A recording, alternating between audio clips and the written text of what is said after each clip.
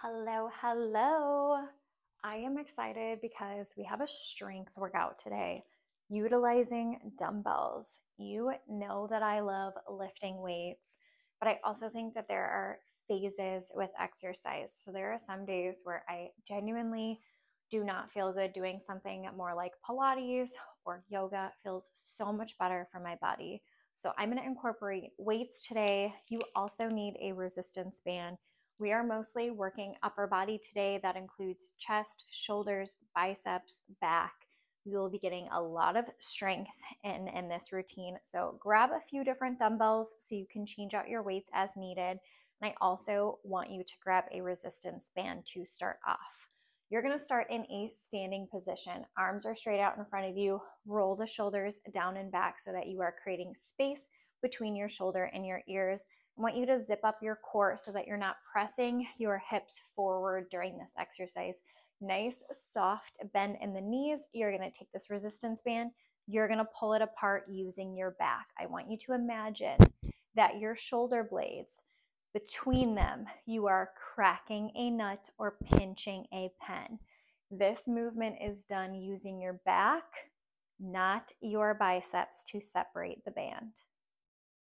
Great job. Four, three, two, and one. Grab that band a little farther apart. We're going to take those arms overhead, bringing that band behind you, opening up your chest and shoulders, and then back in front. I love doing this exercise. If you have a desk job, if you are standing, if you're on a computer all day driving in a car, this is going to feel so good to open up your chest and shoulders. You can also use the handle of a broom if needed, if you don't have a resistance band. Take that resistance band in front. Make sure you don't hit yourself in the face. If you have handles, bring it around and down. Keep your core tight. Keep resistance on that band, so keep pulling it apart. Again, you're opening up your chest and shoulders. You can use a resistance band or you can use the handle of a broom Swiffer. I have plenty of clients that I tell them to grab their broom to do this exercise. It always feels so nice. One more. Beautiful. I want you to take your palms, place them up towards the ceiling, grab your band a little bit closer, squeeze your elbows in towards your rib cage. We're going to externally rotate from your elbows. So palms are facing towards the ceiling. You're pulling that band apart, but your elbows are staying glued to your rib cage. Again, you want to squeeze from your back while you are doing this exercise. Okay, keep that belly button pulled in nice and tight. You can stay forward. I just wanted to show you from different angles. Keep those elbows pulled in. Three, two, and one. Excellent. That resistance band can be placed off to the side. I want you to start at the very edge of your mat. Take those hands up overhead, big stretch here. Bring them down towards the mat. Slowly roll down one vertebrae at a time. Walk it out into that high plank position where your wrists are directly under your shoulders. You're to shift back in this plank, shooting your hips towards the ceiling. Your right hand is going to come reach towards your left knee, shin, or ankle, whatever you can reach, and then you're going to shift back to a plank. If that is too challenging, I want you to just hold a plank position. You're going to alternate sides, shifting back, lifting those hips high, starting to stretch out through your entire posterior chain, which is your back, really stretching through those arms, keeping your core strong. Shoulders are working as well. Two, one more each side. One and one. Good. Set those knees down, rest into child's pose. Stretch everything out. Take a second here. Beautiful. All right. I am going to get you started on your back. So we're going to start off a little lighter. We're going to work our way a little bit heavier. We're going to be changing weights out. This is your workout. So I want you to pick weights that work best for you. I'm not going to tell you the weights that I'm using. I don't want you to compare yourself to me, so I don't feel like that's important. You're probably going to see them written on there. But again, this is for you. So I want you to pick weights that you are going to feel best with. We're going to start with a chest press. So for a chest press, I want you to think of your elbows as the bottom of an arrow and your head the top of an arrow. So essentially, your body is creating that V position. So your hands are slightly facing in towards one another. When you press, you're going to press those dumbbells so that your palms are facing towards your knees. So there's a little bit of a rotation going on with your arm when you're doing that. Now, that's just how your arms are working. From a lower body standpoint, I want your glutes to be active during this exercise and your core to be working. So your hips are going to be elevated the entire time. Think about squeezing your butt. Elbows are on that 45. You are pressing up, palms face your ceiling. Elbows come all the way back to the ground. Keep those hips up. Keep pressing. We're going to do a decent amount of these. So pick a weight that you can get through all of the reps. Change it out if needed. If it's too heavy to start, that is okay. Grab something a little bit lighter. Hips are staying up. Great work. You've got it. 10 more. 10, 9, 8, 7, 6, five, four, three, two, and one. Good. Bring those weights down, bring those hips down. Feel free to set the weights down. We're going to come into a seated position. You're going to extend those legs out nice and long. I want those toes pointed so that you have long dancer legs. You are zipping up your core, sitting up nice and tall. We're to go into a seated shoulder press, and I want you to watch form first. You're to roll your shoulders down and back, very similar to your chest press. Your elbows are out on that 45 degree angle. So if you extend those arms out and then bend those palms in towards you, that's to be that starting position for this shoulder press. Your arms are not directly out to the side, okay? I want them slightly tucked in. You likely will need to go down a little bit on weight here because I have you seated on the ground. I want you to keep that core zipped up so that you're activating through your center. You shouldn't be rounding as you push forward, okay? So if you need to go down in weight, go ahead and grab it. Bring those weights up to your shoulders, elbows on that 45.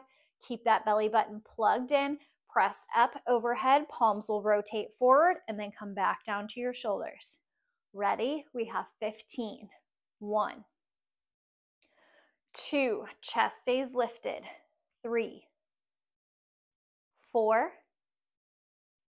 five, six, seven, you're doing great. Eight, nine, ten, five more, five, four, three, two, and one. Great job. Set those weights down. You're going to come all the way back down onto your back, one vertebrae at a time. Swap out the weights if needed. This time we're going to go into a chest fly and we're going to keep your hips on the ground. So this is all in the arms. You will have those dumbbells straight over your chest. You're going to have a slight bend in the elbow as you bring those weights out to the side to pull back in. Make sure when you bring them out to the side, you're not arching as you pull them out to the side. I want you to keep an active core, so keep that belly button plugged in. You want to support your center and not be stressing your center. So pick a weight that you are comfortable with. Palms will face one another. Bring those arms straight above your chest. Plug in that core, activate that center, soft bend in the elbows. You are pulling out to the side and like you are hugging a tree back to center. Out to the side, and back to center.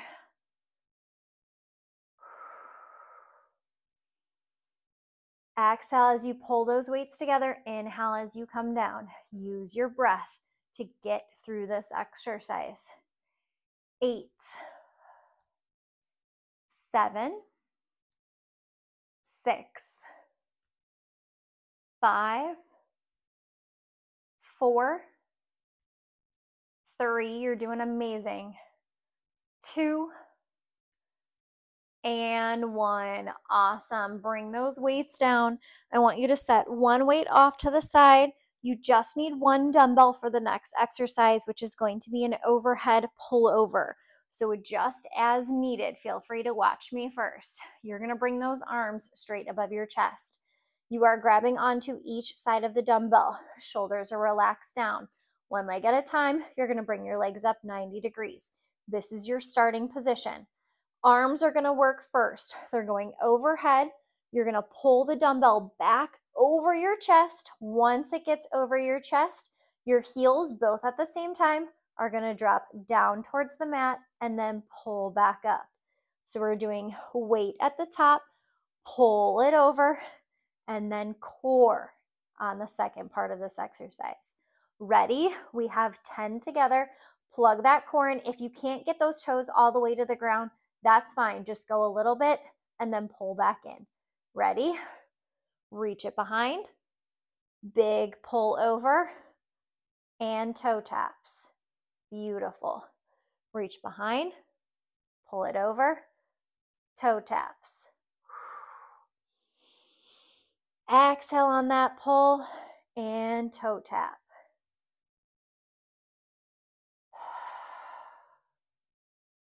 You're doing great. Six more.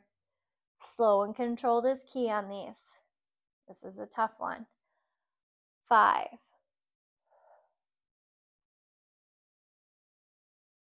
four,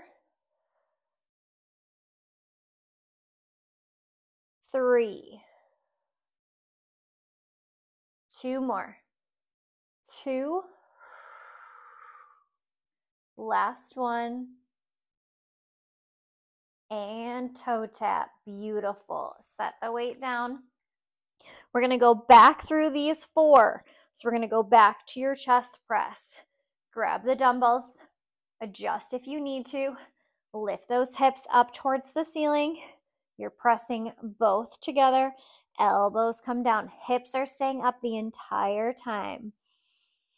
Exhale, press. Inhale, down. Exhale, press. Inhale, down. Eight, seven, six, five, four, keep those hips up, three, two, and one. All the way down, hips down as well. Roll yourself up like a ball. Bring those legs into that long seated position. Adjust your dumbbells if needed. We're going into that seated shoulder press. Zipping up that core, you do have 15 again. 45 degree angle, press up and together, and then back down. Press it up and back down. These exercises really are going to challenge your core because you are seated on the ground because we're not doing anything besides isolating these muscles. So you're going to feel, especially in this one, your core working really hard to stabilize you. Seven more. Seven six, five, four, three, two, and one. Awesome. Bring those weights down. Slowly lower yourself back down. You're going to go into your chest fly. So grab the dumbbells that you're comfortable with. Hips are staying down on the ground on these. You're going to press both arms up, starting above your chest. Palms face one another, slight bend in the elbows. You are pulling out to the side and back in.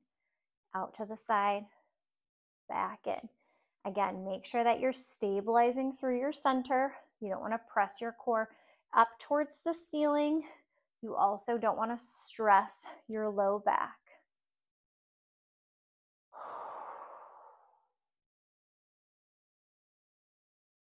Four more. You're doing amazing four, three, two, and one. Excellent. Feel free to keep one dumbbell, set the other one off to the side. We're going into that dumbbell pullover, heel drops. Again, you don't have to drop all the way to the ground if you're noticing that that's causing any arching in your low back. Just slowly move the legs away and then pull them back to center. One leg at a time, bring them up 90 degrees.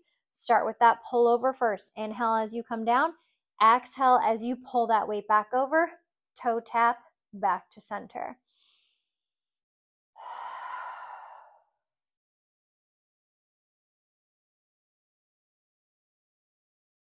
This one is all about control.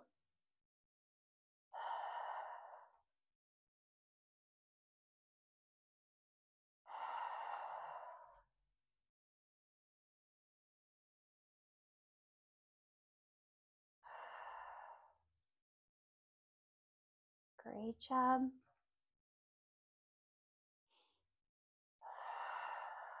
Two more right here. Last one. Beautiful. Bring that weight down. We're going to break this up with a little bit of core. want you to extend those legs nice and long. Bring your right arm overhead. Left foot is nice and long. You're going to reach your hand to your toe, crunch it up and back down. Reach and back down. Eight more. Eight. Seven. Fully lengthen. Six. Five. Four. Three. Two and one. Beautiful. Swap that hand out fully, extend that leg, reach for that toe. 10, 9, 8, 7, 6, 5, 4, 3, 2, and one. Beautiful. Hug your knees in. Give your back a little bit of a stretch and a break here. When you're ready, roll it onto one side and flip it over. Grab a medium sized weight for this next one. We're gonna go into a plank row. So we're gonna start to work those back muscles a little bit more. So I am going to use 10 pound dumbbells for this. For me, that's more of a medium weight. I also like because I can get my wrists under it. Sometimes if I am using a five, I feel like my knuckles press against the ground and I want to avoid that. So figure out a weight that works best for you. You can use one dumbbell and switch it between the arms, or you can have your hands on both. Again, this is your routine, so I wanna make sure that it's going to work for you. If you can hold on to each dumbbell, you are going to set those dumbbells directly under your shoulders. You're going to bring yourself back into a hand plank. Make sure that those wrists are neutral. We don't want to put too much pressure on your wrists. If you have bad wrists, put the weight to the side of your hands and just come up in that side plank. Your feet are going to be a little bit wider than shoulder and hip distance apart so that you can stay strong and steady in this plank. You're going to bring the dumbbell to your hip, pulling it back, and then setting it down. I am going to have you alternate sides if you can here. Big, strong pull, back down. Pull, back down. You've got this. Try to keep those hips as steady as possible. Keep that belly button and that core pulled in. Two more each side. Great job. One more each side. Beautiful. Rest those knees down. Just want you to set the weights off to the side for a quick second. Extend your right leg back behind you, dancer's toe. So really elongate through that toe. Extend your opposite hand. So for me, that's my left hand out because it's my right leg back. You might be doing the other side. That is okay. Palm is facing into the midline of the body. That means your thumb is up towards the ceiling. You're zipping up your core. You're keeping a nice flat back. You're going to lift up towards the ceiling and back down. We're working all of those extensor muscles in your back right now while also stabilizing through your center. Great job. Six, five, four, three, two. I want you to hold this one up. You're going to bring the arm and the leg away from the body and then back to center. Away, back to center. Five, four, three. This is awesome for posture. Two, and one. Good. Rest. Switch the leg and the hand out. Lift and lower. Zip up that core towards the ceiling. 10, 9, 8, 7, 6, 5, 4, 3, 2, hold it up, slide away, back to center, away, back to center. Five, four, three, two, and one. Beautiful. Sit back into a child's pose to stretch out your back. We're going to stay on the ground. I want you to go back to using that resistance band that we started with. So grab that resistance band. If it's long like mine, you can double it up or you can just have it open. Choice is yours, whatever you are most comfortable with. You are going back down on your stomach. I want those arms extended out in front of you. Legs are nice and long. Arms are out in that V. You're going to lift your upper body and lower body off the ground. You're lifting up, pull that band apart, and then set it back down. Up, pull the band apart. Good. Set it down. Three more. Up. Two. One more big squeeze. And one. Excellent. Push back into child's pose. Stretch out that back. We don't want to cause a little too much discomfort to your back extensors. So we want to be mindful on how much extension that you are doing, that we're not stressing the low back. So you always want to stretch it out after. Beautiful. All right. We're going to come up to a standing position. I'm to bring my late, my weights a little bit lighter. We are going into a little bit more shoulder work here. Standing position, I want you to have a soft bend in your elbows. That means palms are to start facing one another. Standing up nice and tall, not moving around throughout the room. We're to lift those elbows to the side for a bent lateral raise and back down. Up and back down. Keep that core zipped up. All shoulders here, baby.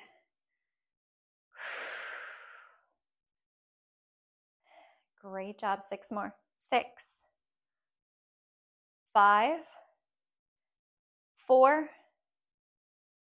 three,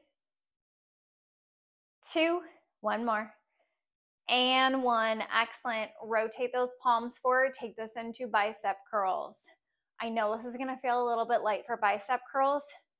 Trust, trust where I'm going with everything. That way you're not switching out your weights too much. Eight, seven, six, five, four, three, two. Keep those same weights in hand. One, I'm turning to the side so you can see me. Your palms are still up. We're to take those arms, we're to rotate them up to that bent lateral raise and then tuck them back under for biceps. I said trust. Yeah, zip up that core. Rotate, lift, and back in. Rotate, lift, and back in. You've got this. Six, five, four, three,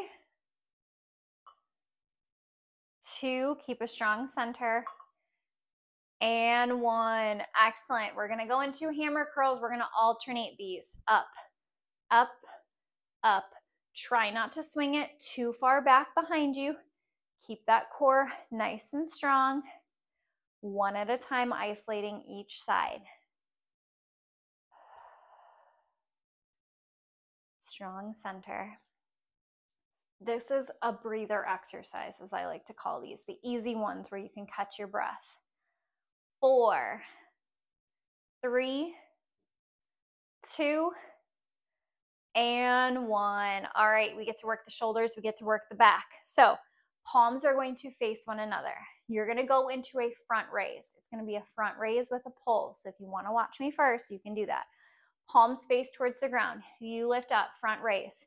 You pull back towards your shoulders. Okay, you're squeezing your back muscles. You extend out, you set the weights down. What I don't wanna see is that you're using your hips okay? And you're pressing through your hips. Keep your center strong and steady. Up, pull, press, down, okay? We have eight of them. Let's go.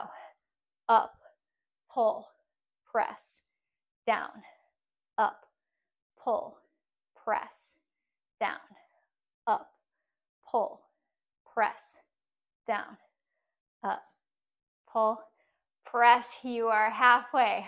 Four. Three, you feeling it? Two, one more. Up, pull, press, down. Great job. Want you to hinge it forward. We're going to take this into triceps. So we're going to pull those weights up next to your chest Elbows are squeezing back next to your rib cage. Extend back, tuck in. Work the back of the arms here. You really want to feel those triceps working to support you. Good work. Strong center, core is engaged.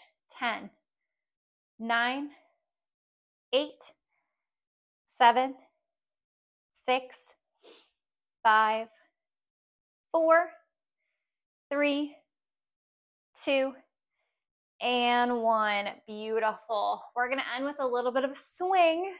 So it's to be an overhead movement as well. You can use both dumbbells. I'm to swap out for one dumbbell because I like to use one dumbbell. I think that's easier to hold. But feel free if you want to keep two lighter dumbbells, you can absolutely do that as well. I'm to hold the center of the dumbbell. Now I'm going to go into an overhead swing. So it's going to be a combination of a squat to a swing. So it's not a hinge pattern. We're not going to hit your low back on this. I want you to think about core and shoulders. So I'm holding the center of that dumbbell. I'm going to squat it down. Torso stays tall. I'm going to swing my arms up overhead. They stop straight overhead. And then I'm coming back down. Squat, swing it up. Squat, swing it up. Core is tight, especially on the way up. That's that stopping motion for you. 10, 9, 8, 7, 6, 5, 4, 3, 2, and 1. Beautiful set that weight down. Take your right arm, cross it over the body. Stretch out that arm. Nice work today. Take that hand behind your head, stretch out that tricep. Great postural exercises.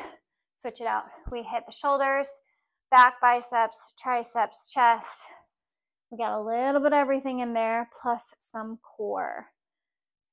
Good. Take those hands behind your back. Push that chest forward. Open everything up. Thank you so much for being here. Let me know if you like these strength workouts so I can record more of them for you. You know I love my weights, so I have no problem recording more for you. Enjoy the rest of your day, and I will see you again tomorrow.